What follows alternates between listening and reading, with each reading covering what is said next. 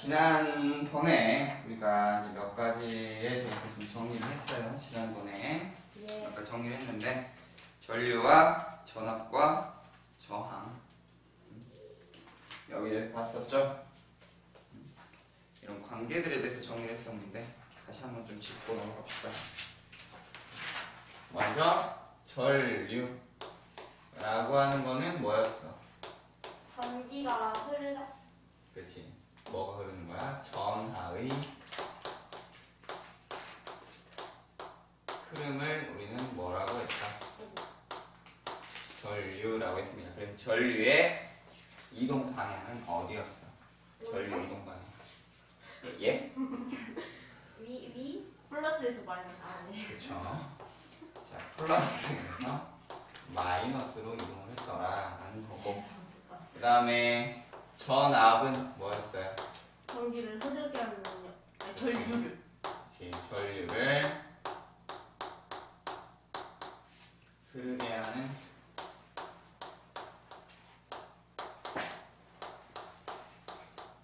능력이었다. 라는 겁니다. 네.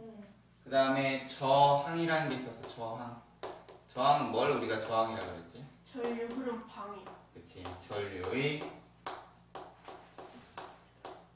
흐름을 뭐 했다? 아, 방해한다.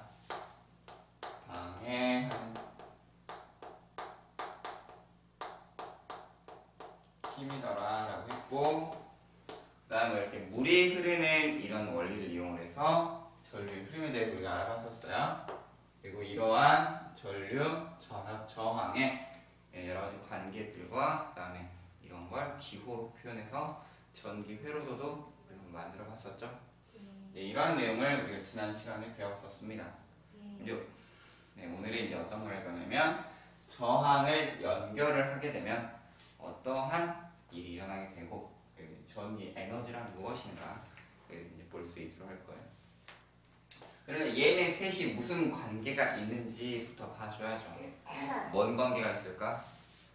전기랑 연결되어 있어요. 자기들끼리 지지고 볶고 아름다운 관계들이 있을 거예요. 아름다운 관계들이 어떠한 일들이 있게 되느냐?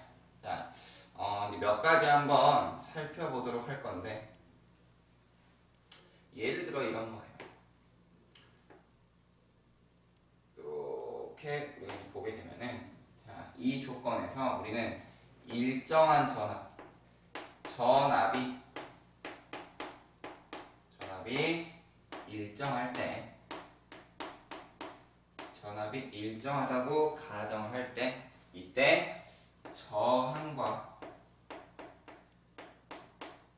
저항과 전류의 관계를 한번 생각을 해보자라는 거예요. 저항과 전류의 관계를 생각을 해보자라는 겁니다. 알겠나요?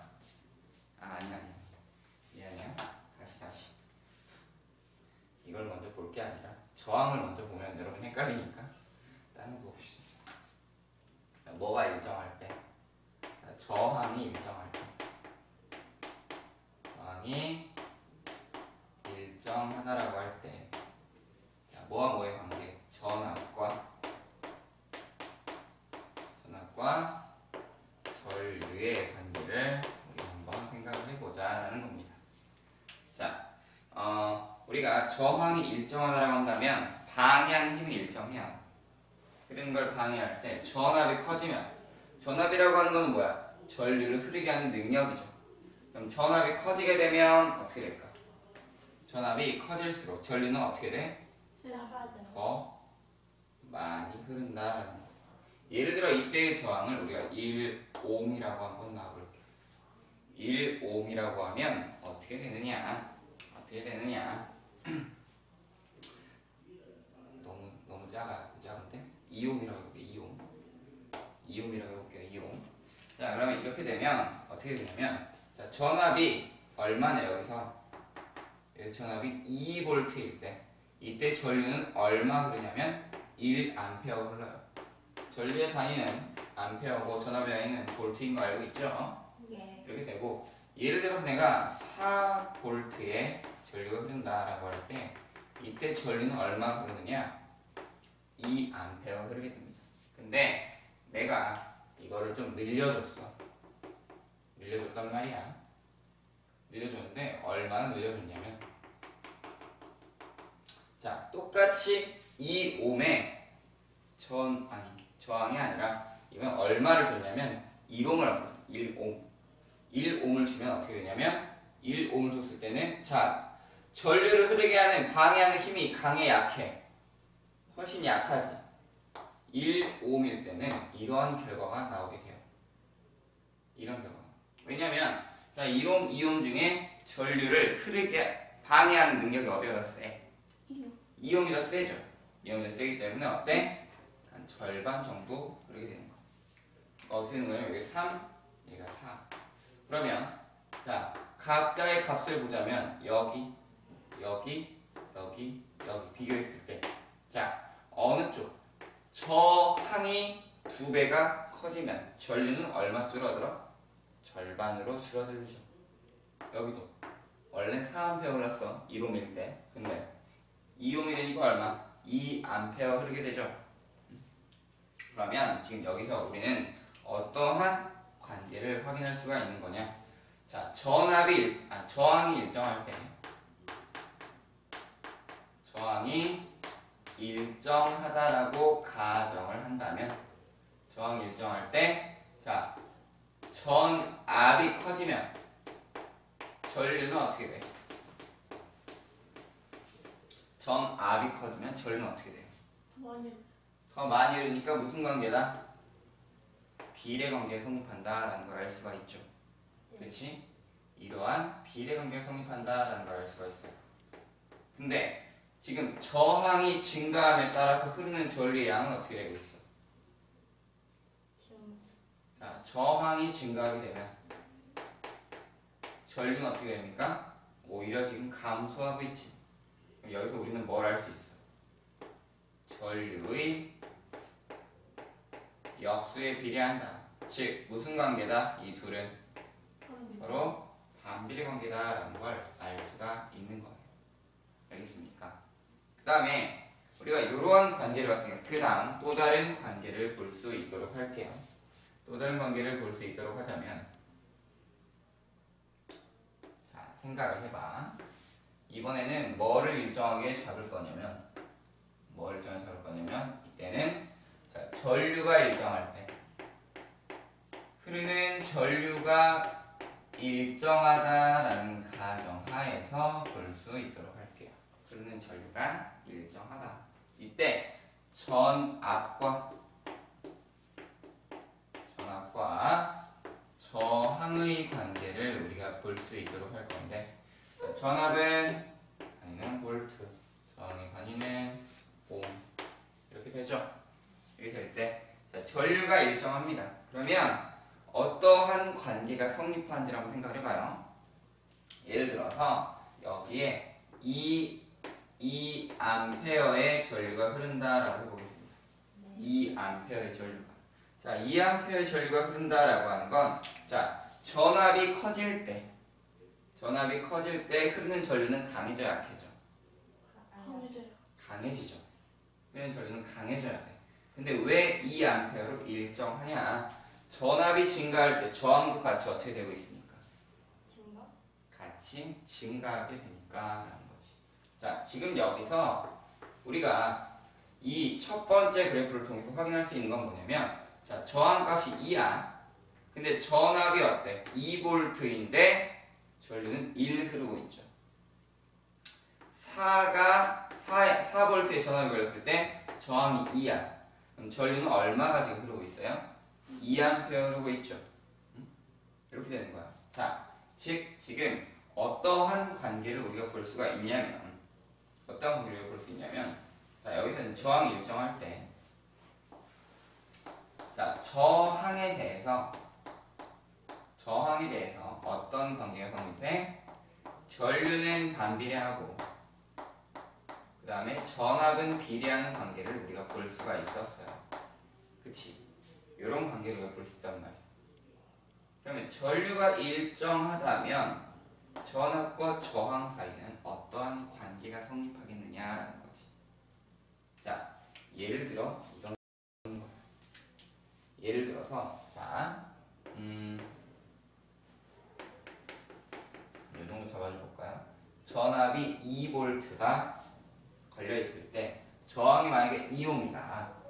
그럼 이때 전류는 얼마 흐를까? 전압과 관계. 전류는 얼마 흐르게 되느냐? 그리고 각자 1, 1 된다면 그리고 3, 3 이렇게 간다면 자 이때 이때는 얼마의 전류가 흐르게 되냐면 쭉 이렇게 일정한 값으로 증가를 해요 이때가 얼마냐면 자 1암페어의 전류가 흐르게 됩니다 1암페어의 전류가 흘러요 이렇게 쭉 일정한 값이 이렇게 나타나 알겠어요? 근데 예를 들어서 전압이 더 세지는데 저항이 작아진다. 좀 작아진다. 라고 하면 어떻게 되냐면 이때는 이렇게 이렇게 자 이거는 얼마냐면 2암페어의 전류가 흐르게 됩니다. 2암페어 왜냐면 왜냐면 뭐가 작아지고 있습니다. 저항값이 작아지고 있잖아요. 그치? 근데 자 어, 이런 거야. 이거 2였죠? 자, 요렇게 되면 요렇게 되면 자, 전류 전압에 대해서 전류가 갑, 아니 저항이 갑자기 커지면 이때는 얼마의 전류가 흐르게 될까? 이때는 2분의 1, 그러니까 0.5 암페어의 이러한 전류가 또한 흐르게 되는 겁니다. 그다음 여기서도 우리가 알 수 있는 건 뭘 알 수 있어? 전압이 커지는 데 따라 저항도 어떻게 되고 있어? 동일한 전류가 흐른다라고 할 때 전압이 증가하면 저항도 지금 동시에 증가하고 있는 걸 확인할 수 있죠. 그치? 그러면 자, 우리는 여기서 또 하나의 상황을 우리가 볼 수 있어야지. 자, 저항이 커짐에 따라서 전류는 어떻게 흘러? 작게. 흐르죠. 전압이 세지면 또 많이 흐르지. 저항이 작아지고. 그리고 이제 전압과 저항은 동시에 좀 증가하는 그래프를 우리가 확인을 할 수가 있어요. 즉 여기서 우리가 알 수 있는 건 뭘 알 수 있는 다른 색깔을 표현해 보자면 전류라고 하는 것은 어떻게 된다? 뭐에는 비례하고 역시나 전압에는 비례하고 뭐에는 저항에는 반비례하더라. 라는 그래프를 우리가 또한 확인해 볼 수가 있는 겁니다. 알겠나요? 그래서 이러한 관계에 따라서 우리는 하나의 법칙을 정리할 수가 있는데 우리 그걸 무슨 법칙이라 그래? 옴의 법칙이라고 합니다. 옴의 뭐라고 부른다? 옴의 법칙. 뭐에 대한 관계입니까? 전류, 전압, 저항에 대한 관계예요. 자, 옴의 법칙을 어떻게 이야기하느냐? 전류. 전류의 색이라고 하는 거는 전류의 색이라고 하는 거는 어떻게 된다? 그 곳에 흐르는 전압에 대한 전류는 뭐 저항 값에 따라서 흐르는 전류가 정해지게 되더라라는 거예요. 알겠습니까? 자, 그래서 우리 전류는 뭘로 표시했어? 기호가 뭐야? 아이. 전류의 기호 I죠 I. 저항의 기호는 R. 아 그래 R. 왜난 옴을 쓰고 있었을까요? 전압의 기호는 V죠. 근데 이걸 다시 정리하자면 어떻게 되는 거야? I는 I는 어떻게 된다? R분의 V다. 이렇게 구할 수 있겠죠. 또 다른 식으로 정리한다면 R로 정리해 본다면 어떻게 정리할 수 있어? R은 I분의 V로 정리할 수 있겠죠. 또 V 값으로 정리한다면 V는 I, R 이런 식으로 정리할 수 있는 거죠. 우리가 이러한 방식에 따라서 뭘 정리할 수 있다?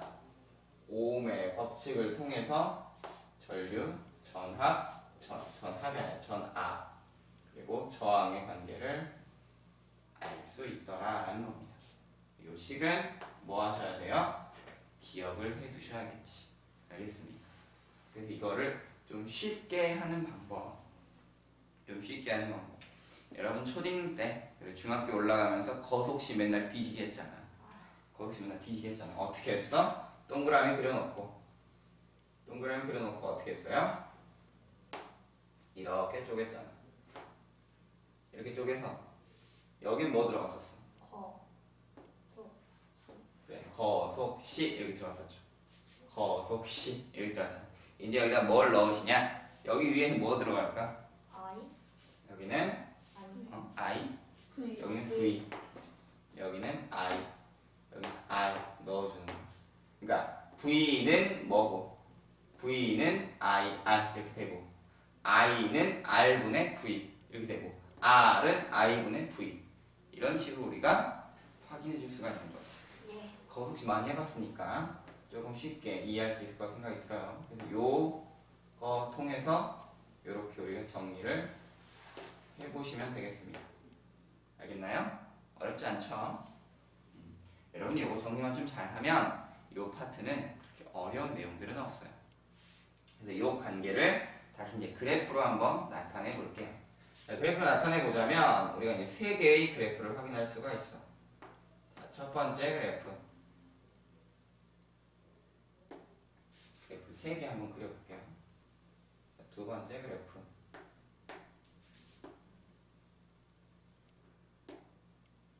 칸이 좀 좁은 것 같지만 그릴까 그랬네요. 네, 후회가 밀려오고 있습니다. 네, 이렇게. 네, 첫 번째는 뭐와 뭐의 관계? V, I. VI가 뭐죠? 전압과 전류의 관계. 그다음 두 번째는 V, R. 전압과 저항 관계. 세 번째는 R, I. 저항과 전류 관계. 여기 보면은 자 여기는 어떻게 된다? 비례. 비례하는 관계다. 쭉 증가한다. 여기는 비례. 역시나 비례하는 관계다. 쭉 증가한다. 여기는. 쭉 이렇게 내려온다. 반비례하는 관계다. 이렇게 우리가 이제 확인을 해볼 수가 있는 거죠. 알겠습니까? 이러한 관계로 우리는 뭘 정리한다? 뭘 정리한다? 이러한 관계를 볼 수가 있다.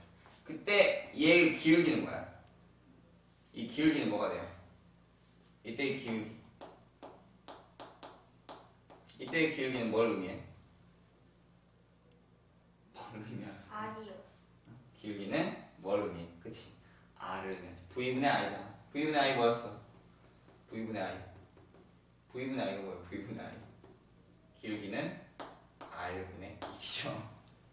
R분의 저항의 역수값입니다. 이 기울기는. 예. 알겠죠? 저항의 역수값을 생각하시면 되고 여기 V분의 R은 뭐예요? V분의 R. 이 기울기는 뭘 의미해? 그렇지. i분의 1 전류의 역수값을 의미하는 거죠 그치 여기는 이거는 뭘 의미해 V. 그러니까 여기서 중요한 건 i와 r을 곱하면 뭐가 나와 V요. 항상 일정한 값이 나오잖아 응?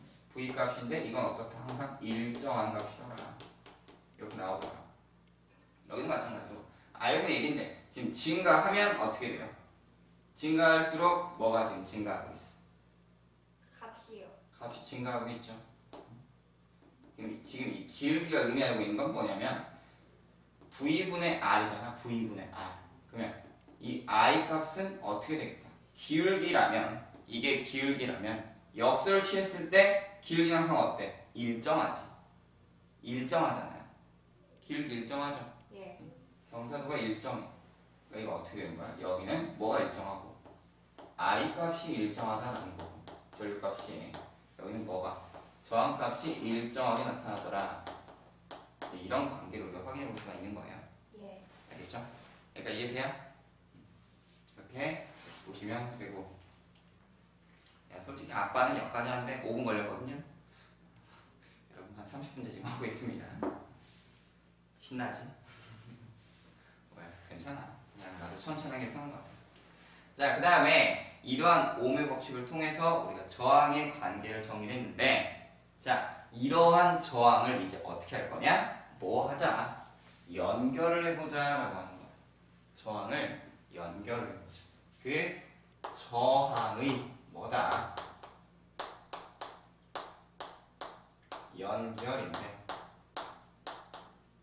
자, 그 전에 우리가 저항에 대해서 저항값 저항이라고 하는 거는 뭐에는 비례했었어? 저항의 길이가 길어지면 저항은 커졌습니까? 작아졌습니까? 커졌습니다. 그치 저항의 길이가 길어지면 저항은 커졌습니다 표면적은 커졌을걸요. 넓어지면 그러니까 길이 넓어지면 어떻게 돼? 여러분이 길을 걷는데 길이 넓어 가기 편해 가기 힘들어. 편하죠 골목길 가는 것보다 탄탄 대로 걷는 거 훨씬 편하잖아 그러니까 그것도 나 혼자 가는 게 아니라 친구들이랑 다 같이 달려가야 돼 좁은 골목길 가려면 서로 밀치고 난리 나겠죠 어때? 표면적에 대해서는 어떻다? 표면적에 대해서는 반비례 관계다 즉 이걸 다시 정리해보면 어떻게 정리해볼 수 있어? 저항값은 우리가 R 로 이야기하고 길이는 우리가 뭘로? L 표면적은 S 이렇게 나타내잖아요 그래서 이걸 정리해보면 R은 뭐다? S분의 L로 우리가 표현해볼 수 있는 거지 앞에 나와 있잖아요 네. 그치? 기억나죠? 앞에 봤던 거 이렇게 우리가 확인을 해볼 수가 있는 거고 음. S 네 이렇게 표현이 되는데 자, 이제 이러한 관계를 놓고 우리가 한번 생각을 해보자 라는 거야. 뭘 생각을 해보느냐? 저항을 연결을 했을 때. 자 먼저 어떻게 연결하느냐? 직렬 연결식 직렬 연결을 하게 되면 어떻게 될 거냐라는 거지. 어떤 회로가 있는데 어떤 회로가 있는데 저항이 있어요.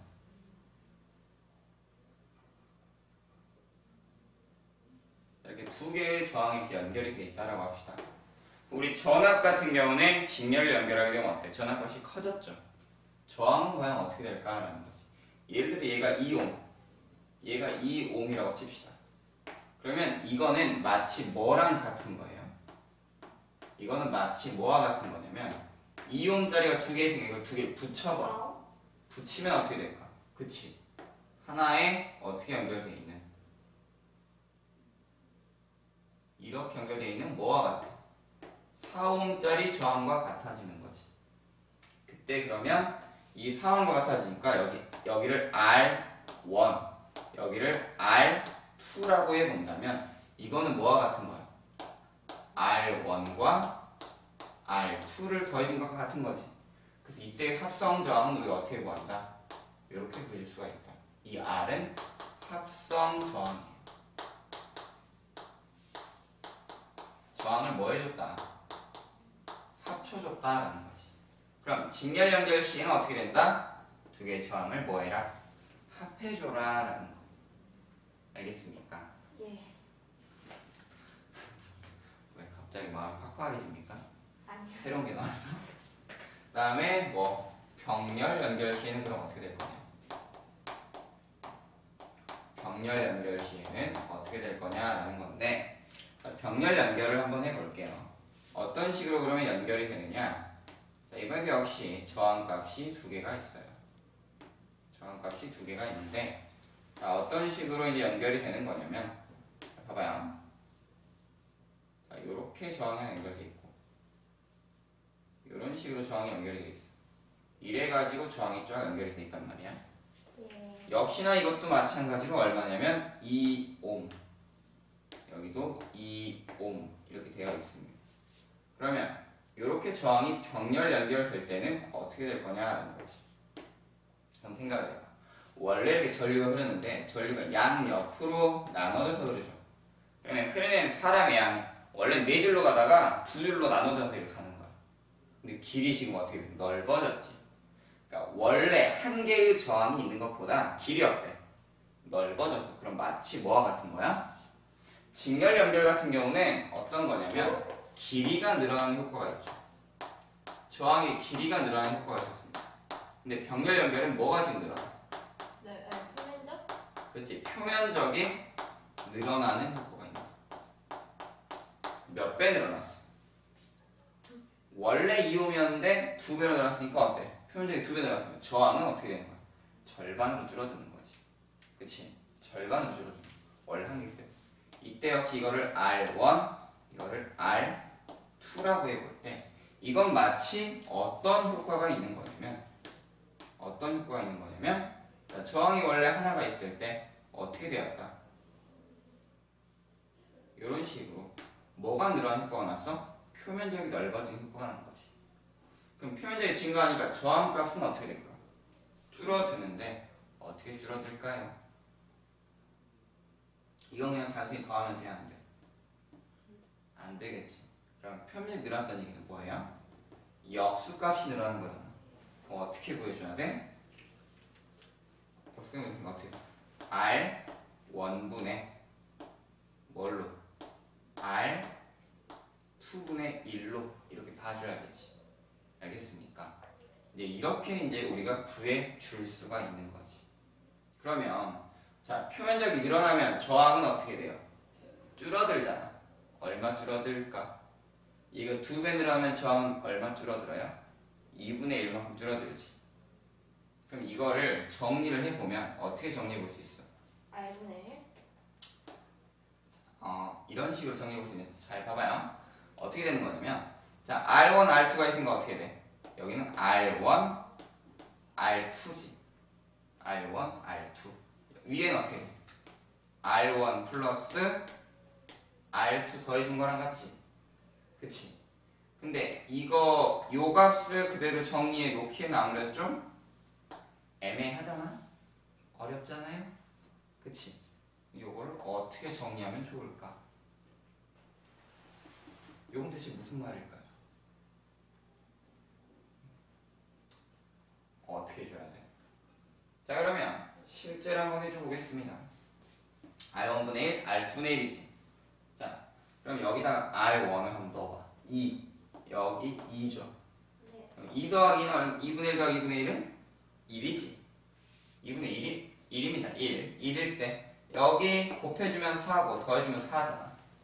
그럼 해준 값이 얼마가 나와 지금? 1? 해준 값이 얼마가 나와요? 이거 두 개를 더한 값에 얼마가 나왔어? 1이니까. 4분의 1? 아니고?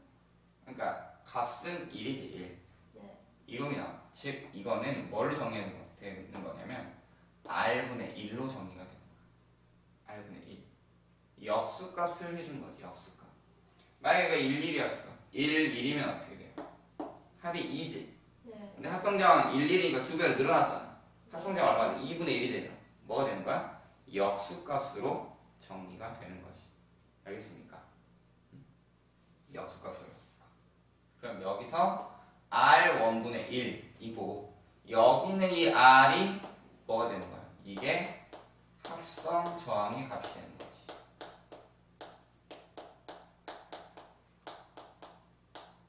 의미인지 알겠어요? 그러니까 이렇게 구해주는 거예요. R 원분의 R 2분의 1, R분의 1. 이때 이 R이 뭐가 된다?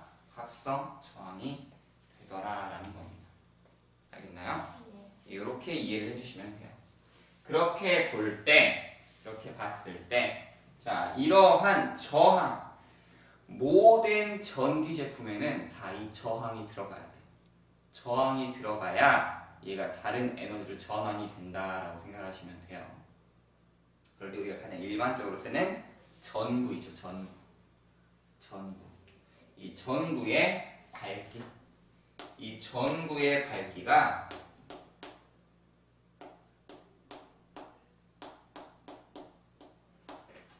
각자의 회로에 대해서 어떻게 작용을 하느냐라는 건데 일반적인 회로의 경우 일반적인 전기 회로도를 우리가 생각을 했을 때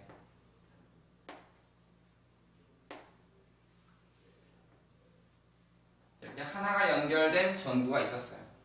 하나가 연결된 전구가 있었어. 그럼 전구 한 개 연결될 때는 일단 어느 정도 빛이 이렇게 밝을 거야. 빛이 뿅뿅뿅 하고 나올 거예요. 뿅뿅뿅. 이게 나오겠지. 나오는데 자 이거를 어떻게 했느냐 전구의 개수를 어떻게 했어 하나 늘려줬어 전구의 개수가 하나가 아니라 똑같은 전구를 몇 개 달았냐면 두 개를 달았어 이렇게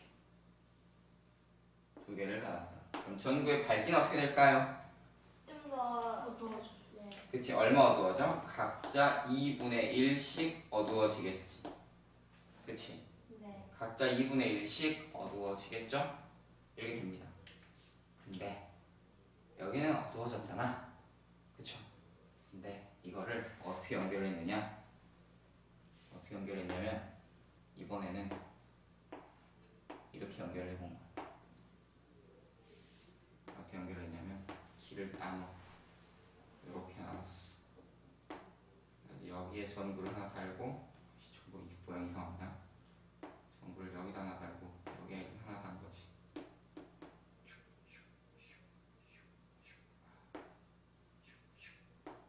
이렇게 달았어. 그럼 밝기는 어떻게 될까요? 4분의 1, 4분의 1? 똑같아. 어떻게 될 것 같아? 자, 예를 들면 이렇게 생각해봐라. 전구는 뭐라 그래? 저항이라 그랬지. 그러면 각자 저항이 걸린 걸 여기를 1옴, 여기를 1옴, 여기 1옴이라고 해보자. 해봅시다. 하면 어떻게 돼요? 여기는 합성 저항이 2옴이지. 그쵸? 합성 저항 2옴입니다. 여기는 합성 저항 얼마일까? 2옴, 2옴이라고. 합성 저항이 얼마 될까? 합성 저항은 2분의 1 옴이 되는 거지. 그럼 흐르는 전류가 어떻게 될까? 저항값이 줄어들면 전류는 어떻게 흘렀지? 저항값이 줄어들면 전류는 어떻게 되겠어? 더 많이 흐르게 되겠죠. 더 많이 흐르게 됩니다. 그러면 자 전체적으로 이제 봤을 때 이러한 관계를 생각을 해야 돼. 만약에 여기에 1볼트가 걸려 있었어. 1볼트의 전압이 걸렸다면 이때 흐르는 건 1 암페어죠. 1 암페어 흐르겠지. 여기도 1볼트가 걸려 있었어. 그럼 여기 흐르는 전류가 얼마야? 0.5 암페어지. 그쵸? 여기는 1볼트 걸려 있었는데 저항이 2분의 1이야. 얼마 흐르는 거야? 2 암페어 흐르겠지. 2 암페어 각자 얼마씩? 1 암페어, 1 암페어 이렇게 흐르겠죠. 그러면 전구의 밝기는 어떨까요? 더 세? 세죠? 세져요? 여기 아까 1암페어가 밝혔지. 각자 얼마씩 걸려 있어. 이런 그럼 밝기는 차이가 있을까 없을까? 그렇지. 차이는 없겠지. 근데 흐르는 전류의 세기는 더 이쪽이 더 세죠. 세개 연결하면 어떨까요? 3? 총 3암페어 흐르겠지. 네. 근데 각자 전구에 걸리는 전류의 세기는 똑- 똑같지 않아요? 똑같겠지. 전류가 바뀌어야 안 바뀌어요? 동일한 전류가 흐릅니다.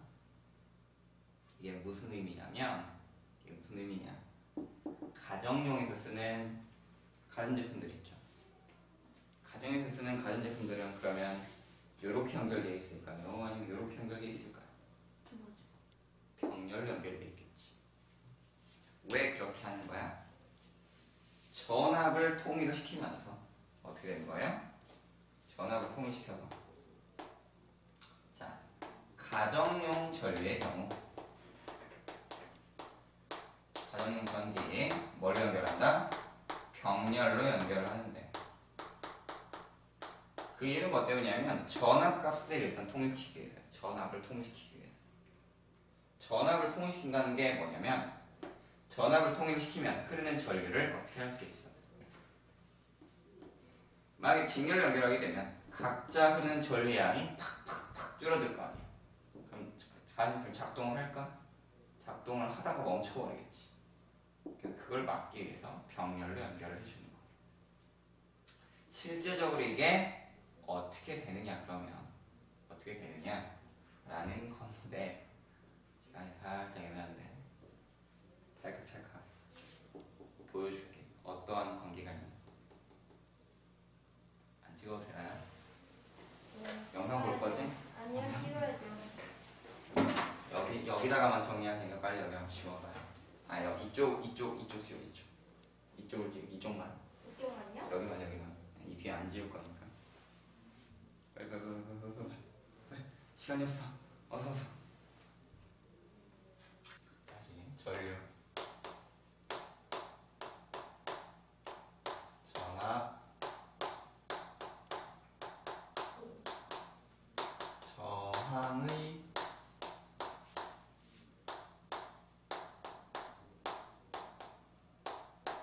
관계에 대해서 볼 수 있도록 하겠습니다. 이번 안 내려갔죠? 네. 자, 이제 전기 회로도를 한번 그려볼 텐데 각각의 경우에 전류, 전압, 저항이 어떻게 바뀌는가 이걸 한번 볼 수 있도록 할게요. 자, 처음 저항은 이렇게 연결이 되어 있고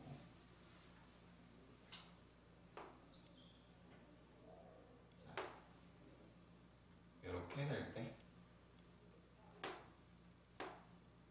전지를 한 두 개쯤 연결을 해봅시다. 이렇게 된 게 이런 회로가 하나 있고요. 또 하나의 회로는 어떻게 생겼냐? 이걸 하나 더 그려볼게요.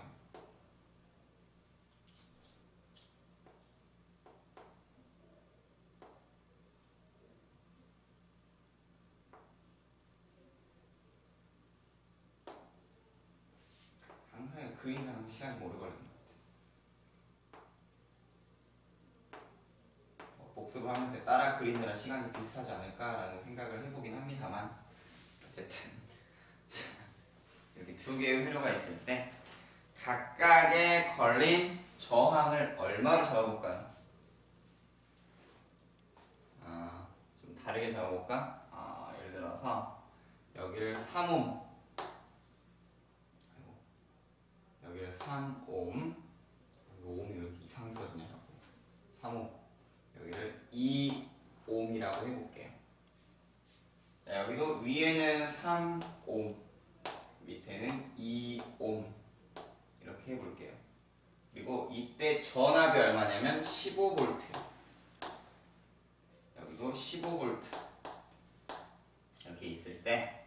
자, 이때 우리는 몇 가지 사항들을 한번 볼 텐데 먼저 우리가 체크해 볼 건 뭐냐면 첫 번째 체크해 볼 건 자, 음,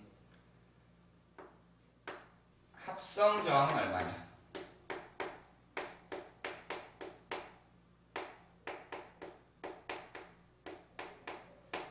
합성 저항 각각 얼마고 이때 흐르는 전류의 세기는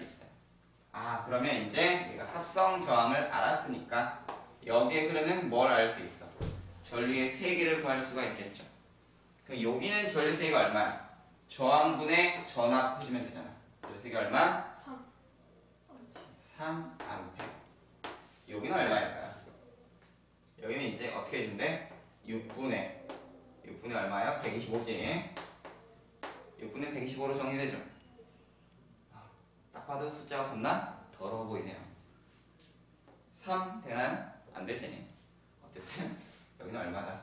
6분의 125 암페어다 그러니까 보자면 한 얼마 정도 흐르는 거야?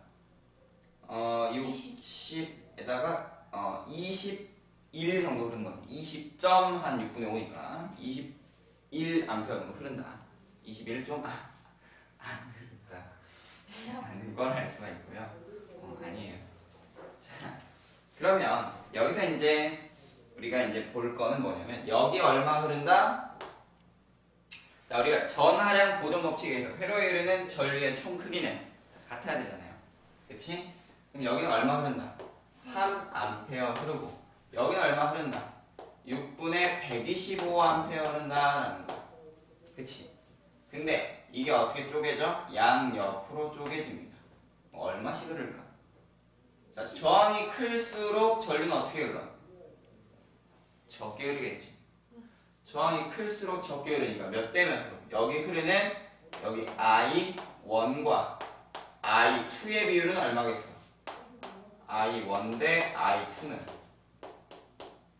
2대 3으로 흐르겠다는 거지 2대 3으로 흐르니까 각각의 흐르는 전류를 우리가 또 알 수가 있죠 자 그러면 이제 한번 구해봅시다 여기는 지금 3호 여기 2호 여기 각각 걸린 게 얼마냐라는 건데 여기는 3홈에 전류가 얼마 흘러? 전류 얼마 흘러요? 전류 얼마 흘러? 3원페어 흐르잖아 3원페어 아 4원페어 흐르구나 여기도 얼마 흘러? 어 그치. 3암페어 흐르지. 그럴 때 걸리는 전압은 얼마겠느냐라는 거예요 전압 어떻게 구하죠? V는 IR로 구하지. 3암페어에 3옴이죠 어, 얼마다? 9 9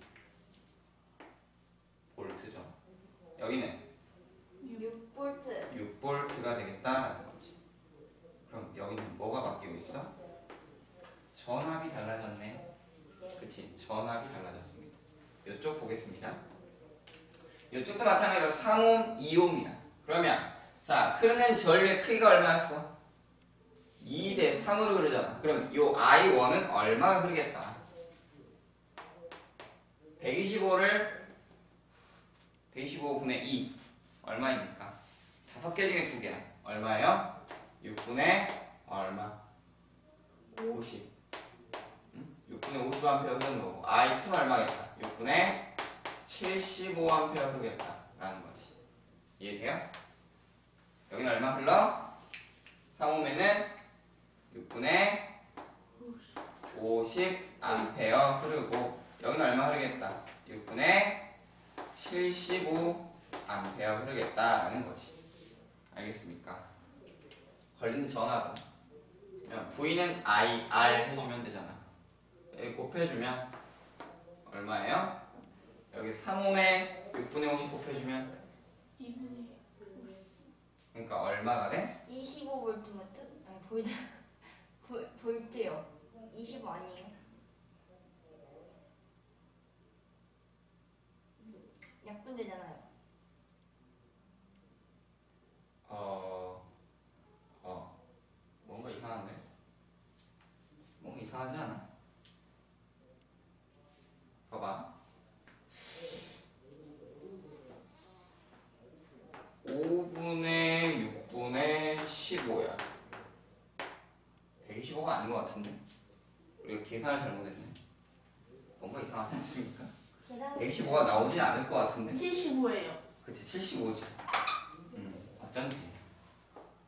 6분의 75지 그럼 약분 됩니까? 안 됩니까? 되죠. 약분 되겠지. 네. 얼마나 약분 돼요? 지금 우리 계속 헛짓거리 하고 있어 무슨 짓을 하고 있었던 겁니까 우리? 자 다시. 6분의 75면 3으로 약분 되잖아. 얼마? 1분의 25 25 2분의 25 25 암페어지. 아 됐네. 뭔가 우리가 큰 착각을 하고 있었네. 왜 이딴 짓을 하고 왜 아무도 얘기하지 않았습니까? 몰랐습니다. 우리 모두 다 삽질을 하고 있었네요. 자, 얼마야? 6분의 75죠. 야, 육- 어, 그러니까 2분의 25암페어지. 네. 이런 실수를. 6분의 25니까 각자 흐르게 되면은 몇 대면 2대 3으로 흐르니까 여기가 얼마 흐르고 2분의 얼마? 10암페어 흐르는 거고 여기는 2분의 15암페어 흐르는 거다 라는 거지 즉 그러면 각자 걸리는 저 이거 아니지 그러면 에이 2분의 10이니까 얼마야 여기는 5요. 그렇지 5암페어 흐르는 거고 7.5 앞에. 여기는 얼마? 7.5암페어 흐르는 거지 일단 똑같은 저항이 있어도 흐르는 전류 자체가 큰 차이가 나요 그 다음에 걸리는 전압은 얼마야? 5에다가 3 곱하면 15V 여기 7.5에 2 곱하면 얼마? 15V 이렇게 되는 거지 알겠습니까? 예. 그럼 지금 우리가 여기서 확인할 수 있는 건 뭐냐면 직렬 연결했을 때 저항을 직렬 연결했을 때 뭐가 동일하다? 전류가 동일하다 여기는 병렬 연결 시에는 뭐가 동일하다? 전압이 동일하다라는 그렇군요. 어? 왜? 예, 아, 네, 아니에요. 그냥 그냥 뭐 그렇군요. 어. 자, 우리 전류계랑 전압계 있었죠. 전류계는 뭐 측정할 때 쓰는 거였어? 전류의 세기. 그래서 전류의 세기. 직렬 연결해서 병렬 연결했어. 네. 직렬로 연결해서 써라라고 했었습니다. 전류계. 기억 안 나면 노트 한번 뒤집어 보세요. 나중에. 자, 전류계는 직렬 연결해야 되는 이유. 흐르는 전류의 총합을 우리가 알기 위해서. 병렬 연결해버리면 전류의 세기 정확히 측정할 수 있어 없어? 없어요. 없겠지. 이렇게 되고 그 다음에 전압계는 어떻게 연결해라? 병렬로 연결해라. 왜? 직렬 연결하면 걸리는 전압 자체가 저항마다 달라지기 때문에. 그래서 어떻게 해라? 병렬로 연결을 해줘라. 라는 겁니다. 알겠나요? 또 하나 우리가 알 수 있는 거. 저항이 늘면 늘수록 흐르는 전류의 세기는 점점 어떻게 될까? 표면적이 넓어지는 효과가 나기 때문에 전류는 점점 세질 거야. 흐르는 전류가 많다는 얘기는 에너지가 많이 이동을 한다는 거고 에너지가 많이 이동한다는 얘기는 충돌도 더 많이 하겠지. 열도 많이 발생하겠죠. 그래서 우리 가정용 전류 같은 경우는 뭐 쓴다고 아까? 병렬. 그치. 가정용 전류는 가정용 전기 어떻게 연결? 병렬로 연결된 걸 쓰는데 병렬 연결이 되는 게 중요한 건 얘는 가전제품을 꽂아 쓰면 쓸수록 어떻게 돼? 전류가 더 많이 흘러요. 그러니까 가정용 전기를 병렬 쓰는 이유는 이것 때문에 전압을 통일을 시켜서 그리고 하나를 빼더라도 전류값이 바뀌어 안 바뀌어? 다른 가전제품에 영향을 미쳐 안 미쳐? 미치지 않습니다. 허나 문제가 하나 있지. 뭐가 항상 있어? 화재 위험이 따라오죠. 화재 위험. 충전기 꽂았을 때 스파크 튀는데. 음, 화재 위험이 있죠. 그거는 먼지가 있어서 그래요. 조심해서 쓰세요. 있어서 화재 위험이 있습니다. 문어발식으로 연결하면 전류가 흐르는 양이 많아지고 그럼 발열량이 증가해요. 발열량이라고 하는 건 왜 생기는지 알죠? 우리가 에너지를 쓰다 보면은 뭐가 발생해? 열 에너지. 못 쓰는 열 에너지가 발생을 하잖아. 열 손실이 발생을 하죠. 그 양이 증가하기 때문에 발열이 일어나는 거지. 알겠습니까? 여러분이 가전제품을 손딱 대면 뜨겁잖아. 왜 그래? 내부에서 열이 발생을 하기 때문이죠. 이러한 문제점이 있겠더라. 내부에서 열이 발생하면 내부에서 불난 거예요? 어, 온도가 많이 올라가면 불이 나겠죠. 먼지 같은 거에 많이 있으면 스파크 팍 튄단 말이에요. 불꽃이 일어나요. 그러니까 막 그 여러분 집에 그 컴퓨터 있죠. 컴퓨터 뒤에 보면은 먼지가 많이 쌓여 있을 거야. 그리고 막 이렇게 멀티탭 연결되고 코드 막 꼽혀 있잖아요. 이거 오래 놔두면 어떻게 되겠어? 불나기 딱 좋은 상황이 되는 거지. 집에 가서 컴퓨터 너무 많이 하지 마시고 뭐 하시면 돼요? 노트 정리하세요. 노트 정리하시고 문제 푸세요. 알겠지? 결론은 그거야. 결론은 그거야. 알겠죠? 자, 뭘또 배고프다 그럽니까? 자, 그래서 이러한 관계 이해하겠죠? 예. 이렇게 보시면 되고 으. 뭐 아직 안 끝났어요. 아, 진짜. 진짜요? 음, 아직 끝나지 않았어요. 그 다음에 이제 볼 거는 이제 저항의 연결 이제 봤으니까 뭐 봐야 돼? 전기 에너지 봐야지. 전기 에너지 봐야지. 저 연결하는데 이렇게 시간이 많이 걸렸다니. 왜? 전기 에너지. 전기 에너지에 대해서 한번 볼 수 있도록 할게요. 자, 전기 에너지라고 하는 건 이 전하의 움직임을 뭘로? 에너지로 활용을 하는 거예요. 우리는 전기 에너지를 많이 이용을 합니다. 왜 전기 에너지를 많이 쓰느냐? 얘는 다른 에너지로 전환이 용이합니다. 다른 에너지로 전환이 용이하다라고 하는 게 무슨 의미냐면 무슨 의미냐면 자 예를 들어 전기 에너지 코드만 꼽으면 다른 걸로 쉽게 바꿀 수 있잖아요. 여러분 예를 들어서 석탄을 가지고 선풍기 돌려와라라고 하면 어떻게 돌릴 거예요? 석탄 속에는 어떤 에너지가 들어있어? 탄소? 그치 화학 에너지가 들어있어요. 이걸 운동 에너지로 전환시켜야 돼. 어떻게 바꿀 거야? 기름으로 바뀌어요. 석탄을 기름으로 바꿔요? 기름으로 선풍기 뗄 수 있어요? 안 되죠? 안 되죠? 기름은 선풍기 못 돌리잖아. 그러니까 이건 어떤 원리냐면 전기 에너지가 다른 에너지로 쉽게 바뀔 수 콘센트만 꼽으면 바로 바꿀 수 있잖아요. 그치? 뭐 그래서 그럼 전기 에너지가 어떻게 활용이 되느냐라고 하는 건데 자, 이런 거 있죠. 어, 예를 들어 선풍기 같은 경우는 선풍기는 어떤 에너지를 물론 당연히 처음엔 전기 에너지겠죠. 전기 에너지를 뭘로 전환을 시키는 거야? 바람으로? 그치 그 바람 뭐예요? 바람이 뭐야? 풍력? 그, 결국엔 운동 에너지죠. 프로펠러를 돌리는 거잖아. 운동 에너지를 돌리는 거죠. 그 다음에 손전등.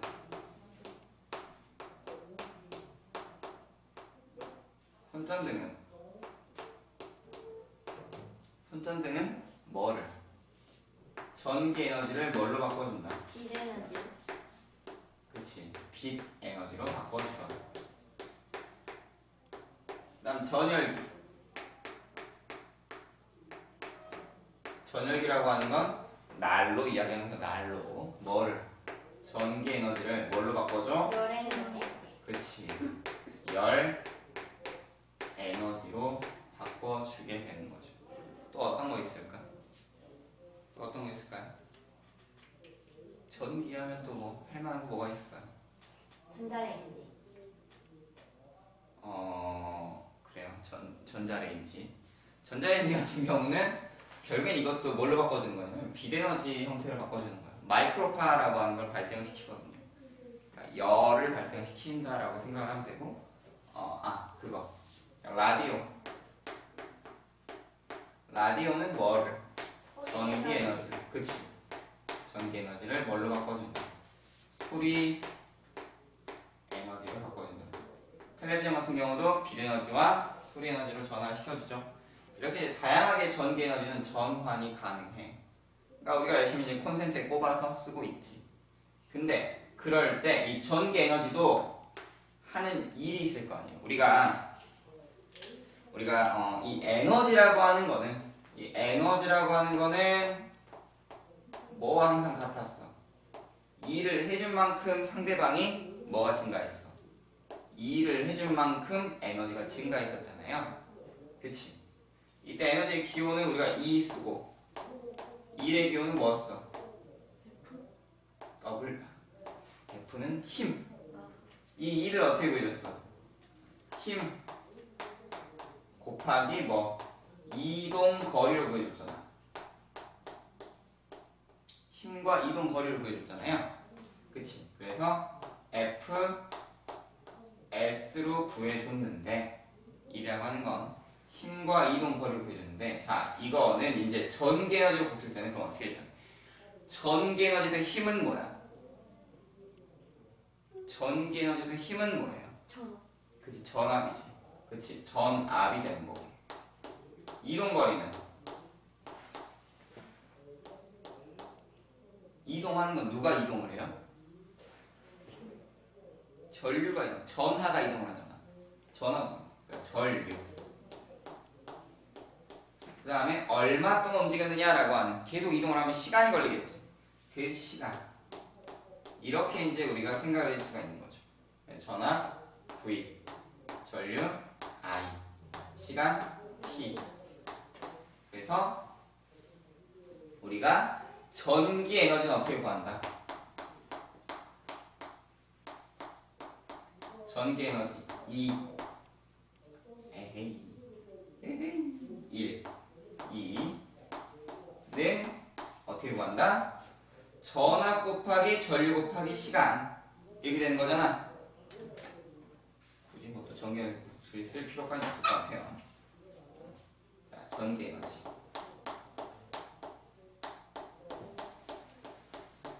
2 그래서 어떻게 구해? 2는 뭘로? V, I, T로 우리가 구할 수가 있고 단위는 뭐 써? 단위 에너지의 단위는 뭐 써요? E EH 에너, 에너지의 단위는 뭐 써? 줄 써잖아 줄 아 그래서 1줄이라고 하는 거는 1줄의 에너지라고 하는 거는 1볼트의 전압으로 얼마? 1암페어가 흐르는데 그게 몇 초? 1초 동안 흐르는 거. 이렇게 생각을 할 수가 있는 거지. 알겠습니까? 단위는 이거 쓰잖아요. 쓰더라? 어 1과 에너지 할 때 배우셨어요. 아 그래요? 1번 운동 에너지, 위치 에너지, 역학적 에너지 한참 배웠었잖아. 에너지 전환 배우고 그 다음에 뭐 질의 도르의 아 네. 빗면, 그 다음 1과 일률. 아. 이거 하셨죠. FS 막 그래프 그리고 막 얼마로 이동 시키고 힘은 얼마 줬고 그런 를 그때 하셨죠. 예. 전기는 이렇게 되는데 자 이 전기 에너지. 그러니까 예를 들어서 내가 100볼트. 예를 들어 이런 거예요. 100볼트. 아니 아니 220볼트. 220볼트. 이때 이제 뭐 예를 들어서 전류가 얼마 흐르냐면 뭐 2암페어 흘러 내가 이걸 한 10초 동안 운영을 했어. 그럼 이때 소모된 에너지는 얼마나 몇 줄이야? 이때 소모된 에너지는 몇 줄이에요 이때 소모된 에너지 몇 줄이에요? 4,400? 그치. 4,400줄이 되는 거지. 이거는 4,400줄이죠 그러니까 단위가 엄청나죠? 장난 아닙니다. 그러니까 4 4.4 킬로 줄이 되는 거지 킬로라고 하는 단위가 뭔지는 알죠? 킬로미터 어, 킬로라고 하는 게 천의름이잖아 천 네 그러니까 사진. 음. 그래서 이렇게 우리가 확인할 수가 있더라라는 겁니다. 이게 전기 에너지를 구하는 방식이에요. 끝이에요 아니요, 끝났어요. 왜 자꾸 끝내려고 그래? 근데 이러한 전기 에너지 아까 뭐 생긴다? 발열이 생긴다 그랬잖아요. 예. 열이 생기기 위해서는 그러면 얘 전기 에너지가 많이 발생할수록 뭐 하겠어? 발열량은 많아지겠지. 예 그러니까 요 값이 곧 이제 뭐가 되는 거야? Q 발열량도 될 수가 있는 거지. 열량 Q로 정의할 수도 있는 거죠. 알겠습니까? 이 발열량에 대한 거는 뭐 이제 저항이 커질수록 발열량 커질까지 가자. 저항이 커지면 발열량은 커질까요, 작아질까요? 작아져. 왜? 전류가 쬐끔 흐르니까 그러겠죠. 지속 시간이 길어지면 관련 커지겠지. 그래서 일반용 가정 병렬 연결하면 저항값이 줄어들잖아. 그러니까 발열량이 그래서 더 증가하는 거예요. 알겠어요? 그렇게 이해를 하시면 되겠고 그 다음에 뭐가 있냐면 전력이라는 게 있어. 전력. 전력. 전기가 일을 하는 능력이라고 생각하시면 되는데 전력 우리가 P라고 표현을 해요. 이 전력은 뭐냐면 이 전기가 하는 일인데 쉽게 생각하면 이 P라고 하는 단위가 1과 에너지에서 뭘로 쓰였어? 1율에 쓰였지. 1율. 단위 시간 동안 한 양을 1율이라고 했잖아요. 그럼 어떻게 구할까? 어떻게 구할까요? 에너지를 뭘로? 전기 에너지를 뭘로 나눠준 거야? 시간으로 나눠준 값이겠지. 근데 전개는 게 뭐였어? V I T였잖아. 그걸 T로 또 나눠줘. 그럼 뭐가 돼? 그럼 뭐가 돼? V V I I만 남는 거지. 그러니까 뭐다? 전압 곱하기 전류가 곧 뭐다? 전력이 되더라. 알겠습니까? 전력이 되는 거고 이 전력은 우리가 어떻게 구하냐면 전력은 어떻게 구하냐면 자, 전력 와트죠 와트 와트 1와트는 뭘 얘기하는 거냐 1 볼트 1 암페어 이런 단위라고 보시면 돼요. 그러니까 1볼트가 1암페어 이렇게 흐르는 거예요. 그러니까 초당 2라는 양이라고 생각하시면 돼요. 이게 뭐다? 전력이다. 단위 와트 쓰겠죠, 당연히. 예. 그럴 때 이 전력을 통해서 보통 우리가 가정용에서 뭘 쓰냐면 가정용에는 뭐가 항상 걸려 있냐면 이런 식으로 220볼트에 뭐 30와트 뭐 이런 식으로 걸려 있어요. 이걸 뭐라 그래? 정격 전압과 정격 전류라고 하는 건데 정격 전압, 정격 전류라고 하는 거예요. 이런 식으로 이제 뒤에 보면 이런 식으로 이제 적혀 있어. 알겠어요? 이런 식으로 적혀 있는데 자 이때 우리가 세 가지 값만 한번 구해 봅시다. 간단하게 세 가지만 구해 봅시다. 자 전압, 전류, 저항 어떻게 될까요? 전압, 전류, 저항 어떻게 될까? 전압은 얼마예요? 220V 그치 220 볼트지 전류는 얼마일까요? 전류는 얼마예요? 220분의 30 그치 오 똑똑한데 220 분의 30 암페어겠죠 왜냐하면 곱해준 값이니까 어? 와트라고 하는 게 VI잖아 그리고 V를 나눠주면 I 값만 나오겠지 저항은 그럼 얼마일까? 저항은 어떻게 구하겠어? 저항 어떻게 구해요? 30분의 220 제곱?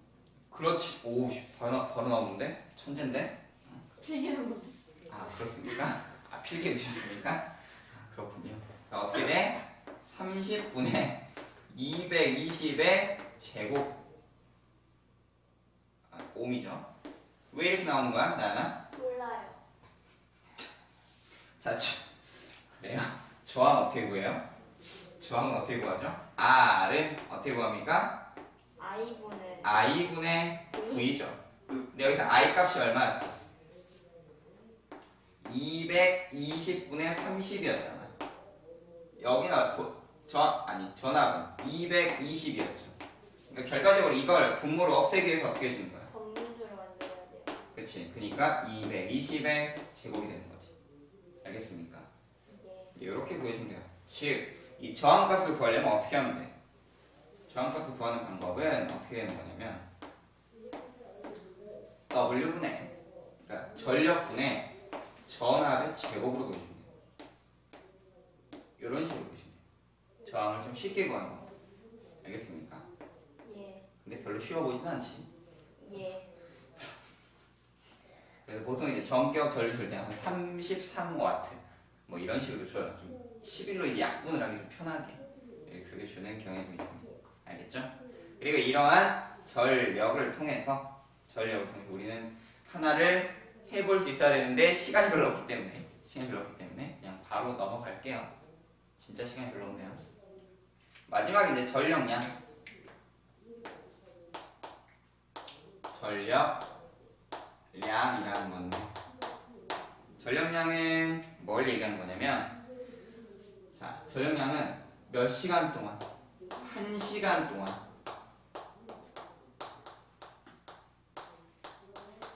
한 시간 동안의 소모 전력을 이야기합니다. 한 시간 동안의 소모 전력. 그럼 어떻게 하면 돼? 뭐에다가? 전력에다가 뭐 곱해주는 거야? 전력에다 뭐 곱해주면 돼? 시간? 그치 시간을 곱해주면 돼. 전력의 시간을 곱해주면 뭐가 나와? 전력 양이 나온다. 그럼 이것도 뭐야? 전력 뭐였어? VI였지. 네. 여기다 시간 T 곱해주면 또 뭐야? VIT지. 단지 차이는 뭐예요? 전기 에너지와의 차이는 뭐야? 여기서 시간 단위는 뭐였어? 초단위입니다. 초단위. 근데 여기는 아워 시간 단위. 그래서 전력량은 우리가 어떻게 쓰냐면 단위는 와트시라 그래요. 와트시. 와트시. 이거를 와트시라고 불러. 그러니까 아까 있던 이 30와트짜리 이거 있잖아. 3시간 돌리면 얼마겠어? 3시간 돌리면 얼마겠어요? 90? 그치 90와트시가 되는 거지 어떤 의미인지 알겠어요? 이렇게 단위를 볼 수가 있겠더라. 라는 거 이제 체크를 하시고요. 뭐 와트시를 구하는 방법. 예를 들어서 뭐, 음, 뭐 30와트짜리 어, 뭐 전구가 다섯 개가 있는데 다섯 개가 있는데 이거를 뭐 8시간을 돌리고 8시간을 켜놓고 그다음 TV가 뭐 200와트인데 이게 한 개가 있어. 이거를 3시간 봤어. 그럼 총 전력량은 얼마야?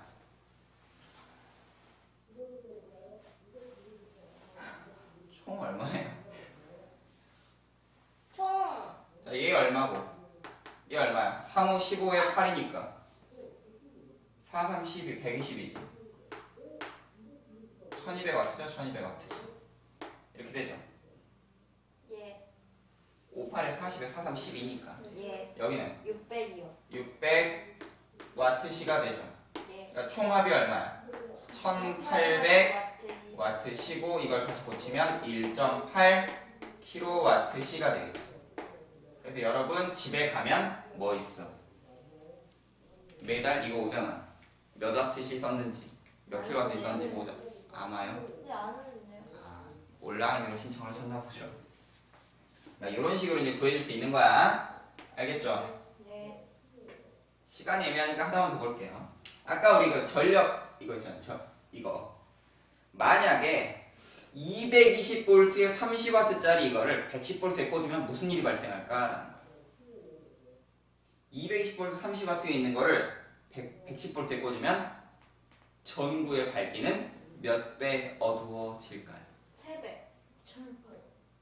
3배. 절반일 것 같지만 우리는 전기 에너지 어떻게 돼? 전압 곱하기 전류 곱하기 시간이잖아. 자 그럼 생각해봐. 전압이 어디 있어? 자 그러면 이 생각을 해야 돼.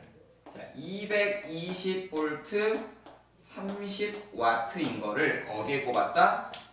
110볼트에 꼽았다. 그러면 얼마나 어두워지겠느냐라는 건데 전기 에너지의 크기를 구해주면 되지. 네. 그럼 원래 220볼트 30와트에 꼽으면 어떻게 돼? 220 곱하기 얼마예요? 전류 어떻게 구해? 220분의 30이지. 이렇게 되죠. 어? 이거잖아 이거. 요 값이잖아요. 그게 되는데 110볼트에 꼽으면 어떻게 될까? 일단 전기 에너지가 얼마 줄어? 110으로 줄지. 여기서 일단 절반이 줄어요. 그 다음 전류값은 전압이 절반이 되면 전류값은 저항이 그대로 있으면 얼마 줄죠? 반띵 나죠 반띵 반토막 나잖아 3인가? 3 아니에요? 반토막 나잖아 반토막 예. 그러니까 이 경우에 이제 어떻게 되냐면 전압도 얼마가 되고 110? 2분의 1이 되고 전류도 얼마가 되고 2분의 1이요. 2분의 1이 되니까 결과적으로는 얼마야?